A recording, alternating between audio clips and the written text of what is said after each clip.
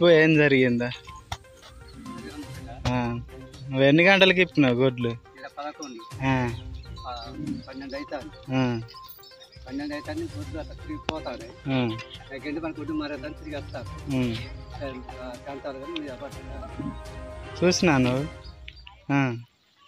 దగ్గర నేనే.